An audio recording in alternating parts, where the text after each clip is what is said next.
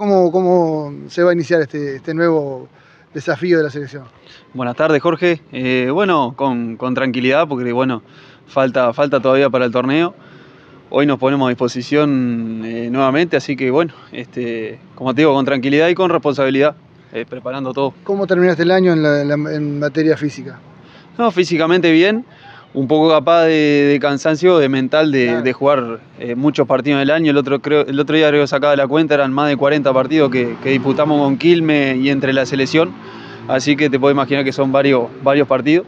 Pero físicamente bien, esta semana que tuvimos descanso, eh, los que jugamos la, la, última final vino bien. Así que bueno, ahora con al 100%. Me dejaba asombrado con eso de los partidos porque en la época nuestra eran 20 el, fútbol local y eran, eran 12 la selección.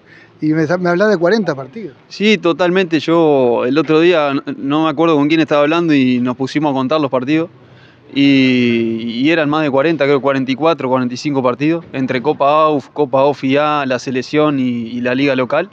Son cuatro competencias, así que se, se pone a sumar y, y, son varios, varios partidos y uno que está, por suerte le ha tocado estar varios de esos partidos a la orden.